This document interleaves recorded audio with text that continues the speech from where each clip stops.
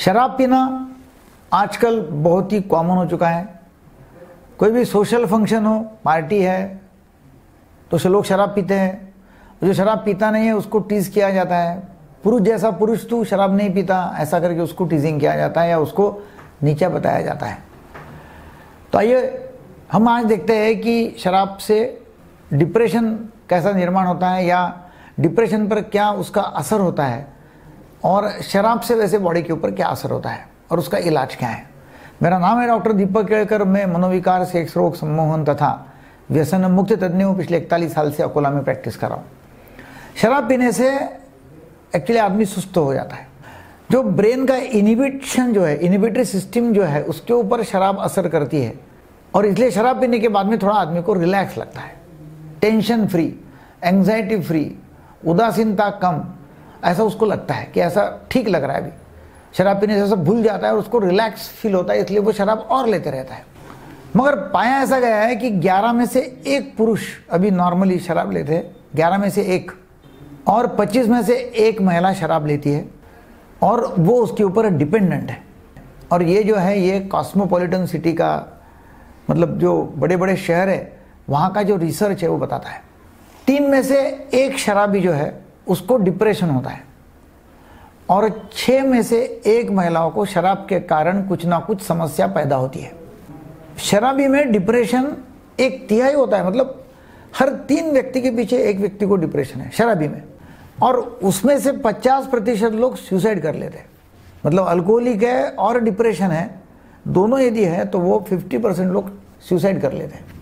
मतलब वैसा डिप्रेशन से सुसाइड करना और शराब और डिप्रेशन सुसाइड करना तो शराब और डिप्रेशन कंबाइन यदि है तो सुसाइड की मात्रा जो है या रेट जो है, वो बहुत ज़्यादा है, बिना शराबी का।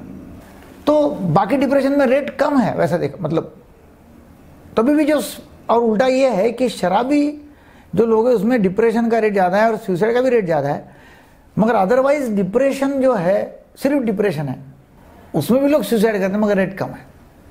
वैसे जिन्होंने सुसाइड कर लिया है उसमें से 90 परसेंट लोगों को डिप्रेशन है और कुछ लोगों को डिप्रेशन है और वो शराबी है, अल्कोहलिक है। क्या है कि डिप्रेशन होने के बाद आपने तुरंत डॉक्टर को कंसल्ट करना ज़रूरी है, प्रोफेशनल हेल्प लेना ज़रूरी है। लोग क्या कहते हैं कि कुछ नहीं हुआ चलते रहता है, ज़्यादा सोच मत, वगैरह वगैरह, ऐसा सलाह देते रहते हैं।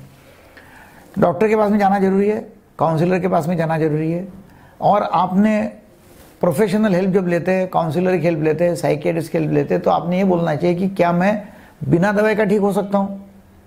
काउंसिलिंग से हिप्नोथेरेपी से साइकोथेरेपी से ठीक हो सकता हूँ तो वो पहले करो। ताकि यदि आप बिना दवाई का ठीक होते हैं तो आपकी जो प्रतिकार शक्ति है मतलब आपकी मसल्स बिल्ड होती है मेंटल फिटनेस अच्छा होता है। जब आप बिना दवाई का वो डिप्रेशन का प्रतिकार कर रहे हैं, प्रतिरोध कर रहे हैं, उसको फाइट कर रहे हैं और ठीक हो रहे हैं। खुद को यदि मज़बूत करना है और आगे चल के भी कभी डिप्रेशन का प्रॉब्लम आता है तो दवाई लेने की ज़रूरत ना पड़े ऐसा आपको लगता है तो खुद को मज़बूत करने के लिए काउंसिलिंग का ही इलाज पहले करो। और काउंसिलिंग से होता ही नहीं और बहुत ज़्यादा सीरियस डिप्रेशन है सीवियर डिप्रेशन है सुसाइडल थाट है तो फिर रुकने का नहीं है, फिर दवाई चालू कर देने का है। मगर न्यूरोटिक डिप्रेशन है, ज़्यादा डिप्रेशन नहीं है सुसाइडल थाट नहीं है तो काउंसिलिंग का इलाज करना ही ज़रूरी है। जो लोग थोड़ा थोड़ा अल्कोहल लेते हैं और बहुत ज़्यादा समय तक लेते हैं ऐसे लोगों में भी डिप्रेशन की बीमारी ज़्यादा पाई गई है। क्योंकि वो होता क्या है कि थोड़ा थोड़ा ले रहे हैं अल्कोहल उनको अच्छा लगता है, उनकी एंग्जाइटी कम होती है डिप्रेशन कम होता है, जो नॉर्मली लोग फेस करते हैं धीरे धीरे उनकी आदत पड़ जाती है। डोज एक तो बढ़ता है और वो अल्कोहलिक बनेगा अल्कोहल एडिक्ट बनेगा और बाद में उसको डिप्रेशन होगा। या फिर वो बनता नहीं है तो वो फाइट नहीं कर सकता। जो रोज की चैलेंजेस है, रोज़मर्रा की ज़िंदगी में प्रॉब्लम्स उसको फाइट नहीं कर सकता बिना अल्कोहल का। और यदि वो अल्कोहल लेता नहीं है तो उसको डिप्रेशन आने के चांसेस बहुत ज़्यादा ऐसे लोगों में डिप्रेशन भी आता है और एंग्जाइटी भी आती है। इन शॉर्ट क्या है कि अल्कोहल और डिप्रेशन का बहुत करीबी रिश्ता है। लोगों ने अपना मूड स्टेबल रखने के लिए एंग्जाइटी से फ्री होने के लिए डिप्रेशन से फ्री होने के लिए शराब बिल्कुल नहीं लेना चाहिए। क्योंकि ऐसे लोग एंग्जाइटी और डिप्रेशन का शिकार जल्दी बन सकते हैं। कभी कभी ऐसा होता है कि एंग्जाइटी डिप्रेशन है, आप शराब लेते हैं एंग्जाइटी डिप्रेशन दब जाता है। उसका इलाज होता नहीं है और फिर एक दिन वो बम फूट जाता है। बहुत ज़्यादा डिप्रेशन बाहर आता है और आदमी सुसाइड किया ऐसा मालूम बाद में पड़ता है। तो इसके लिए थोड़ा भी ऐसा किसी ने बोला कि डिप्रेशन के उसको सिम्टम्स है या इच्छा नहीं है, आजकल काम में मन नहीं लगता, कोई प्लेजर नहीं है, कोई मज़ा नहीं आ रहा है, उदास लग रहा है, रोना आ रहा है एंग्जाइटी बहुत हो रही है, घबराहट है। नींद नहीं है, भूख कम लग रही है। समझ जाना कि उसको डिप्रेशन का शिकार बन रहा है। धीरे धीरे डिप्रेशन उसको हो रहा है, तुरंत प्रोफेशनल हेल्प लेना ज़रूरी है।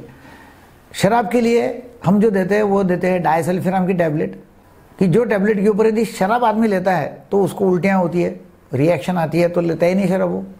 या फिर नेल्ट्रॉक्सन है और कैम्प्रोसेट है, कि जो दवाई से पीने की इच्छा होती नहीं है, या पिया तो मज़ा नहीं आती है। तो ये सब दवाई देते हैं तो डेफिनेटली शराब का इलाज हो सकता है अल्कोहल एडिक्शन का इलाज हो सकता है, और डिप्रेशन का भी फिर उसका मतलब कंट्रोल में आ जाएगा, या डिप्रेशन यदि है तो उसका भी इलाज कर सकेंगे। वो दब नहीं जाएगा ये वीडियो आपको अच्छा लगा तो ज़रूर लोगों को शेयर करो चैनल को सब्सक्राइब करो लाइक करो, आप आपका ख्याल करो, परिवार का ख्याल करो, समाज का ख्याल करो, क्योंकि आप बहुत बहुमूल्य है। Thank you very much